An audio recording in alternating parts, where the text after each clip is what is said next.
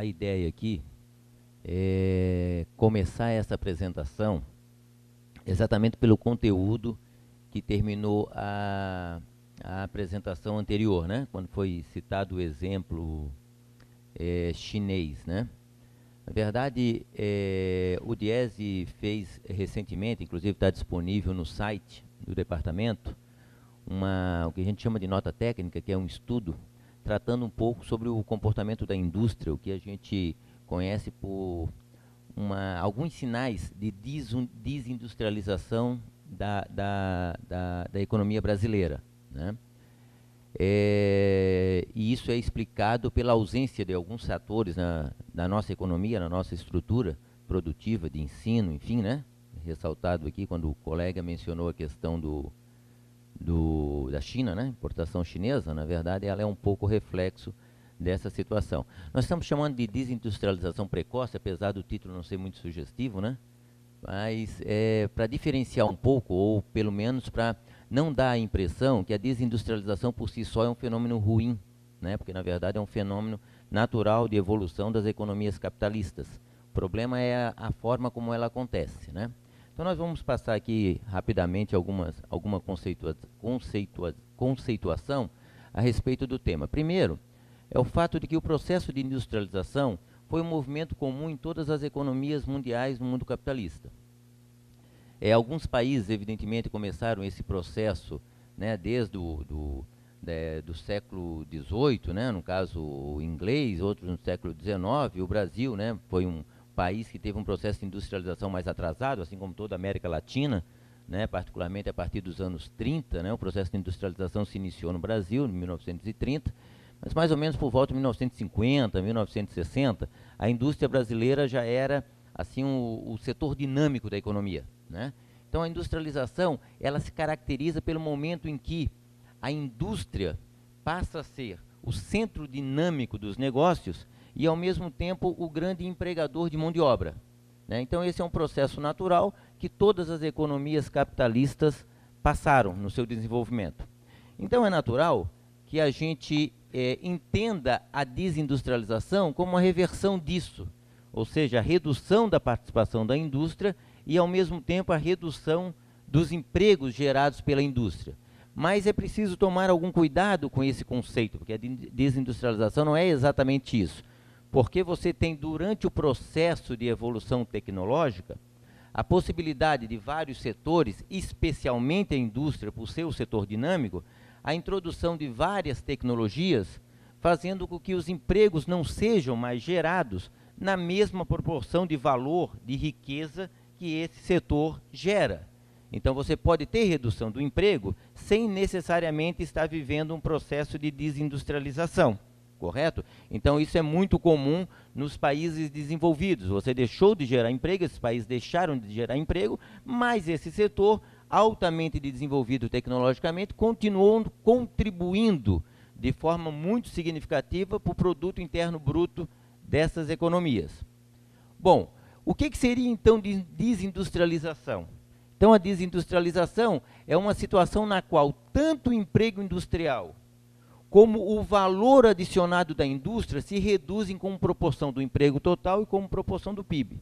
A desindustrialização é caracterizada por isso. Aquele setor não gera mais emprego e tampouco ele contribui da forma como ele contribuía, contribuía anteriormente para a formação da riqueza do país. Tá certo?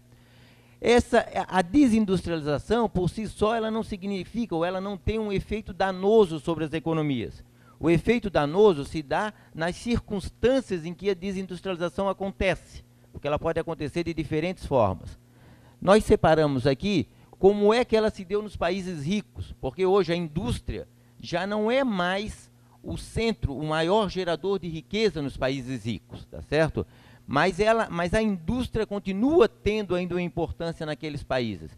Houve, nesse, nesse caso, um claro processo de, de desindustrialização, uma vez que o setor industrial perdeu para os serviços a condição de atividade dinâmica da economia nesses países, assim como está acontecendo no Brasil. No entanto, a desindustrialização não trouxe maiores consequências. Por que, que isso aconteceu?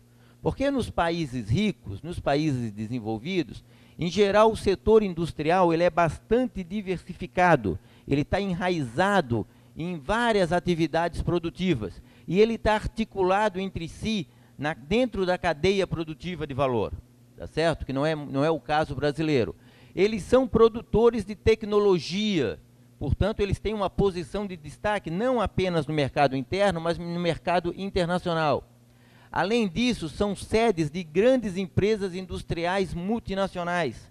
Então, mesmo que naquela economia internamente não gere um valor o setor industrial, mas o seu poder de interferência nas outras economias tem capacidade de internalizar para sua para sua origem valores obtidos em outras regiões. Possuem uma população altamente escolarizada e profissionalmente qualificada, que é exatamente o destaque que o colega estava dizendo aqui, e ostentam altos níveis de renda.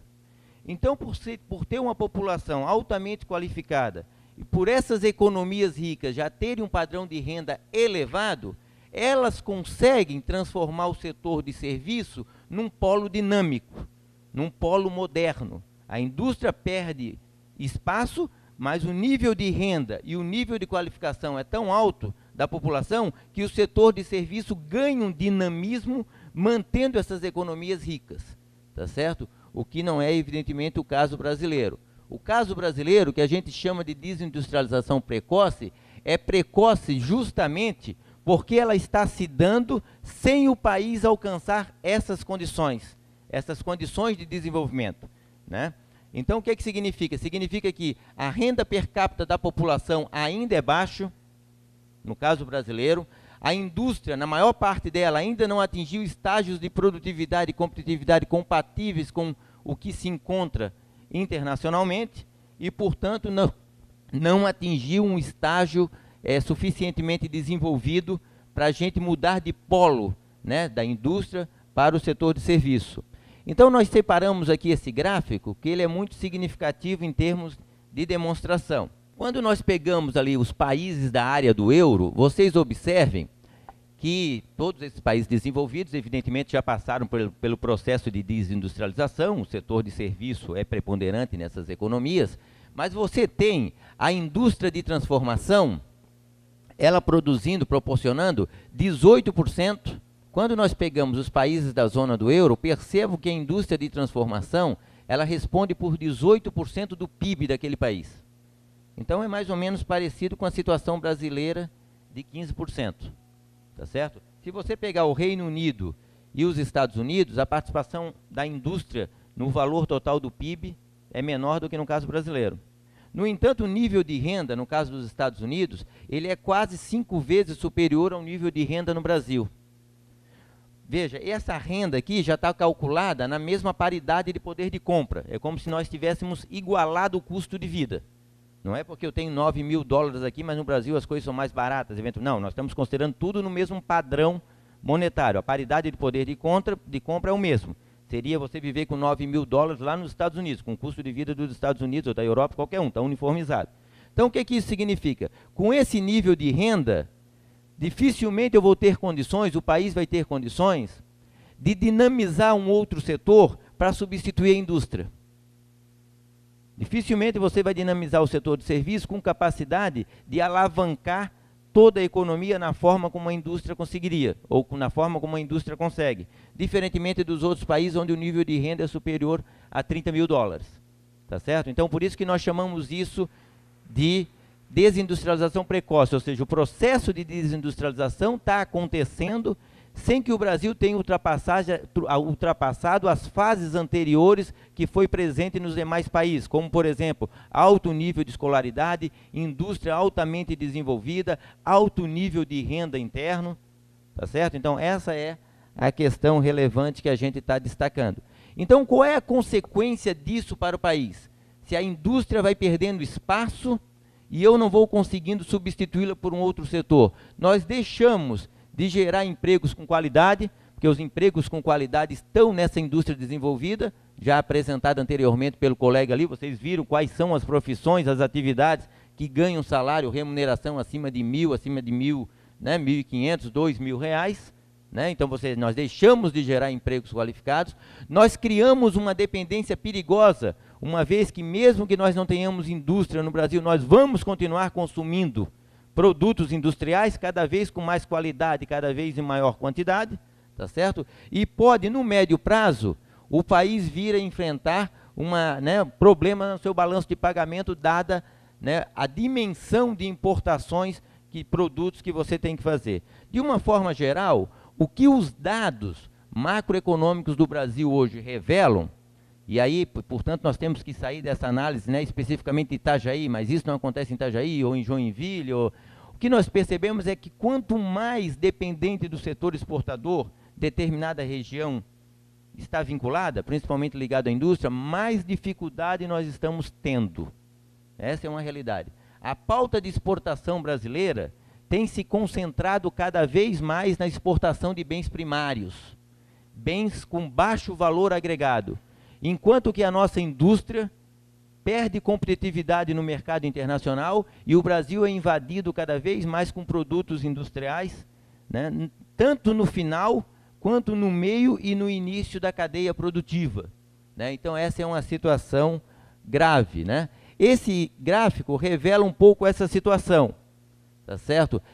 Entre 2003, entre 2003, que é o início, até metade de 2006, a linha azul que revela o comportamento de vendas no comércio varejista estava acompanhando a linha verde que indica o comportamento da produção brasileira. A produção brasileira acompanhava até 2006, de forma muito simétrica, o comportamento do comércio. Vendia-se e essa venda, em geral, era atendida pelo mercado interno. O que acontece de 2006 para frente é que há um distanciamento entre as duas linhas. Ou seja, ao final do período, nós observamos que enquanto o comércio, enquanto o comércio teve um crescimento de, de 95%, 94,5%, já que é um número índice, a indústria, a quantidade produzida pela indústria cresceu 30%. Essa diferença entre o, o crescimento do nosso consumo e o crescimento da nossa produção, ela é atendida por quem? pelas importações. Ou seja, a indústria brasileira, por uma série de razões, não está conseguindo acompanhar o crescimento da economia brasileira. A economia brasileira está sendo atendida cada vez mais por um conjunto de razões de produtos vindo do mercado internacional. Tá certo? Isso é que esse gráfico demonstra. E o que que, quais são as razões desse fenômeno? Algumas razões que nós destacamos Primeiro é excessiva valorização cambial, que é o tema da hora. Né? Todo mundo está discutindo isso aí, né? que o câmbio cada vez mais valorizado, né? o real cada vez mais valorizado, o dólar derretendo a cada dia. Né? É, as altas taxas de juros é um outro fenômeno também que reduz bastante a competitividade do setor produtivo brasileiro. Tem a questão da estrutura tributária, que só pela descrição que o colega aqui de Itajaí mostrou dos incentivos econômicos já dá para ver que é, um é, uma enormidade de itens que você tem que estar tá criando. A estrutura tributária brasileira não é das mais fáceis para ser entendida. Né? Um excesso de burocracia.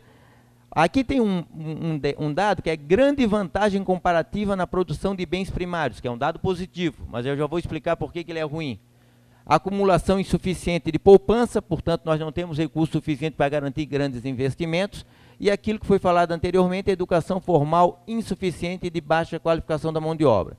Esse conjunto de fatores, na verdade, eles estão interdependentes.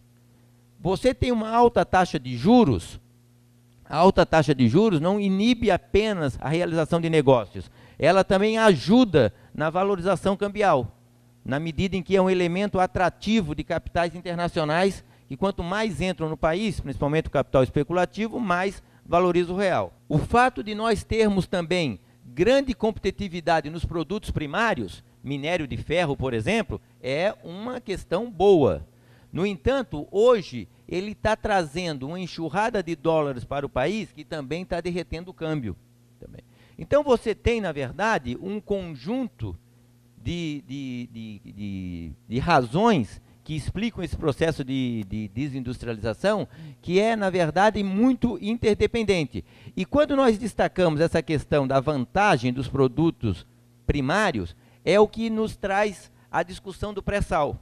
O pré-sal, em geral, ele é apresentado em qualquer evento como um elemento extremamente positivo, e é extremamente positivo. É uma excelente oportunidade de desenvolvimento para o país. Mas também da forma como ele for tratado, pode ser um risco sério para o desenvolvimento nacional.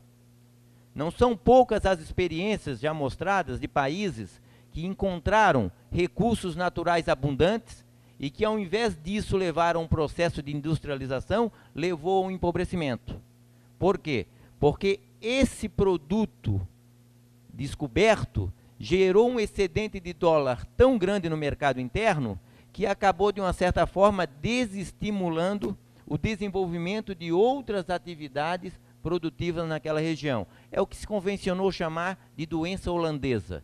O que é a doença holandesa? A doença holandesa é o exemplo que ocorreu na Holanda, quando foi descoberta uma grande reserva de gás, que a Holanda vendeu para todos os países da Europa, com um valor significativo, encheu de dólar o seu mercado, supervalorizou a sua moeda e não conseguiu produzir mais nada, tendo que importar praticamente tudo dos outros países de fora. E quando a reserva de gás foi diminuindo, cada vez mais foi percebendo a dificuldade que isso gerou. Então, o pré-sal é um pouco isso.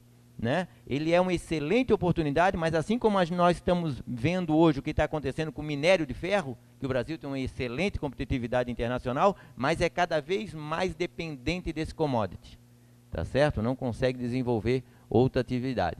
Então, o que nós é, que queremos, é, que, é propusemos trazer para cá, não é uma mensagem pessimista do ponto de vista da perspectiva que a gente está tendo para o futuro porque, na verdade, as duas apresentações anteriores foram na, na direção, olha, o país está com incapacidade né, de dar resposta ao crescimento que está tendo hoje.